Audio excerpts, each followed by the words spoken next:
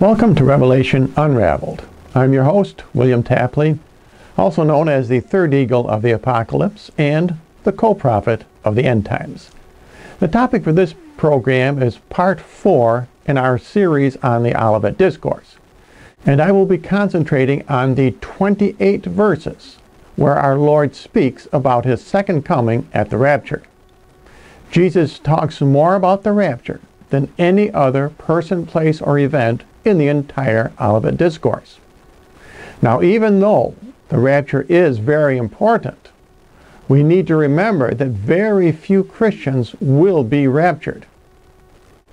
St. John says that only 144,000 will be raptured. And since there are more than a billion Christians on the planet, that means that more than 99.9% of Christians living in the world today must go through the tribulation. Jesus' second coming at the rapture is one of his four comings in which he visits mankind. These four comings also reflect the four stages in a man's life. Number one, Jesus came as the babe of Bethlehem. And of course, every man starts life as a baby.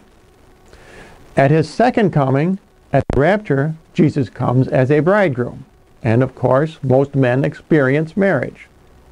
Third, Jesus will come as a soldier, that is, at the Battle of Armageddon, which also reflects that stage in a man's life.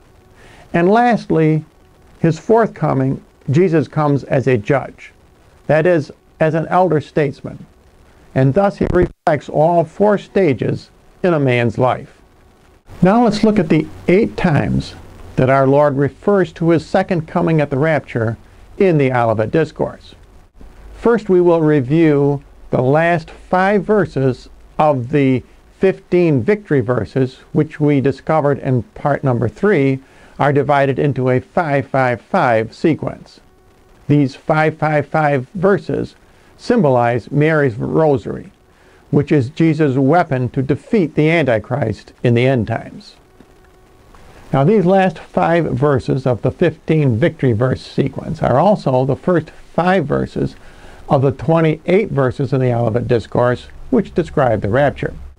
Jesus also mentions his second coming twice in these five verses. As it was in the days of Noah, so also shall the coming of the Son of Man be. And they knew not until the flood came and swept them all away, so also shall the coming of the Son of Man be. Now let's look at the next verses, which refer to the rapture. Now in these next 10 verses, that is Numbers 42 through 51, there are two major themes. Jesus says that we must be ready at all times because we do not know the day or the hour. Verse number 42. Watch therefore, for you do not know at what hour your Lord will come. This is the third time Jesus refers to his coming and in verse number 44. Wherefore be you also ready, for in such an hour as you know not, the Son of Man will come. That's the fourth time that he mentions his coming. In verse number 46, Blessed is that servant whom when the Lord comes shall find him so doing. That's the fifth time that our Lord mentions his coming. And our Lord continues in verse number 50. The Lord of that servant shall come in a day he does not expect, and in an hour he does not know. Once again, these themes that you cannot know the day or the hour, and to be ready at all time, is extremely important when Jesus is talking about the rapture. Now let's look at Jesus' parable of the five wise and five foolish virgins, which is a parable about the rapture. In chapter 25, Jesus continues talking about his second coming at the rapture, which of course refers to the marriage supper in heaven.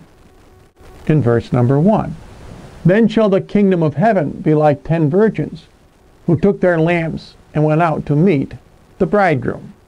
Jesus is the bridegroom, and those very few who are fortunate enough to be raptured represent his bride. Now let's look at verse number 6. And at midnight there was cry made, Behold, the bridegroom comes. Go you out to meet him. Notice here that although a cry is made, there are no trumpet fanfares, no archangels, and no raising of the dead. The rapture is private and personal. It is not at all like our Lord's third coming at Armageddon or his fourth coming at judgment.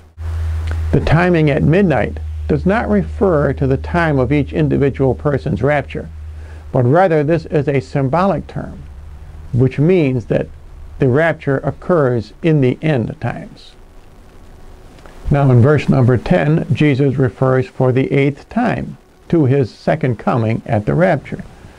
Now while they went to buy, the bridegroom came, and they who were ready went in with him to the marriage, and the door was shut. And now let's look at verse number 13. Watch you therefore, because you know not the day or the hour. Notice that Jesus ends this section on the rapture with the exact same phrase that he began. Watch therefore, for you know not the day or the hour. Now in part number three on this Olivet Discourse, we discovered that Jesus does indeed tell us the month and the year of Armageddon. But it is significant that the rapture cannot be known. All the pre-tribs, post-tribs, and mid-tribs are simply guessing. And they could all be right.